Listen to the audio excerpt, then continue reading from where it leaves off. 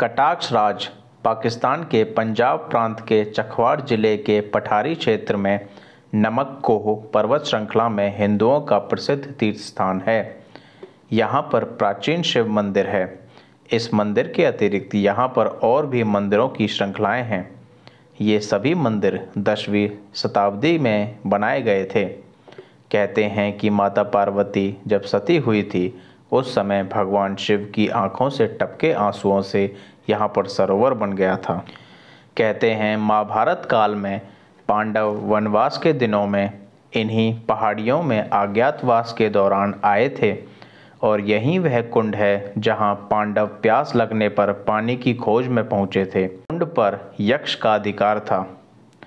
पानी की तलाश में जब नकुल, सहदेव, भीम और अर्जुन सहित चारों भाई इस कुंड पर आए और यक्ष ने उन्हें आवाज़ दी और कहा कि इस पानी पर उनका अधिकार है। अगर पानी लेना है तो उससे पहले उनके प्रश्नों के उत्तर देने होंगे। कोई भी पांडव उनके प्रश्नों का उत्तर नहीं दे पाया और पानी पीने की कोशिश करने पर यक्ष ने उनको मूर्छित कर दिया था। अंत में चारों भाइयों को खोजते हुए युधिष्ठर वहाँ पहुँचे और चारों भाइयों को मूर्छित पड़े देखकर पूछा कि यह किसने किया? तब यक्ष ने सारी बात बताई। तो युधिष्ठर ने कहा कि वे उत्तर देने के लिए प्रस्तुत हैं। तब यक्ष ने उनसे चर्चित प्रश्न पूछे और उसके चारों भाइयों को जीवित करके उन्हें धर्मराज का नाम दिया। इस मंदिर के बारे में मान्यता है कि इसका निर्माण भगवान श्री कृष्ण ने स्वयं करवाया था। उन्होंने ही यहाँ पर शिवलिंग की स्थापना करके उसकी पूजा का आरंभ किया था।